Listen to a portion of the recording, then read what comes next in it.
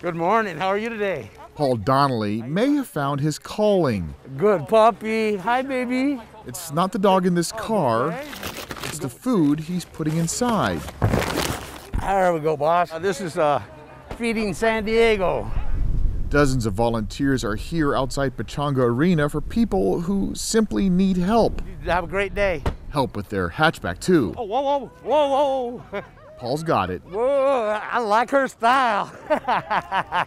it makes me feel good. A lot better about myself, build some self-esteem and some self-worth. Have a great day. And Paul is making them feel loved. The community's wonderful. Good morning, sir. Many of the people in line are active duty military. I'm kind of saddened that people have to come in America in a food line in this situation. I think most people assume that that would never happen to someone that's serving our country. Elise Fernebach is the chairwoman for the Veterans Village of San Diego, an organization that helps veterans overcome homelessness and addiction. You get the number, I got the ticket. Paul is one of her clients. Yeah, I'm a combat vet, Vietnam, Brown Water Navy, riverboats.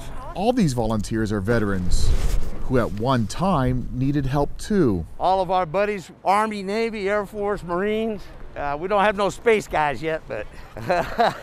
it strengthens the ties of humanity. Especially cool to see veterans helping other veterans and other active military. Sam Duke helped organize Thursday's Feeding San Diego event. This one's cool. It's uh, emotional for me. It's powerful. The power of seeing good people pay it forward. It makes me feel part of the community. Bye, babies. Joe Little, NBC7. Bye bye. Eat the babies.